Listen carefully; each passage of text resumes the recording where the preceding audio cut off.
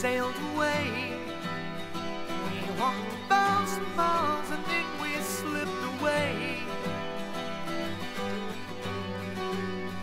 We looked so hard, but couldn't seem to find us what the world was for.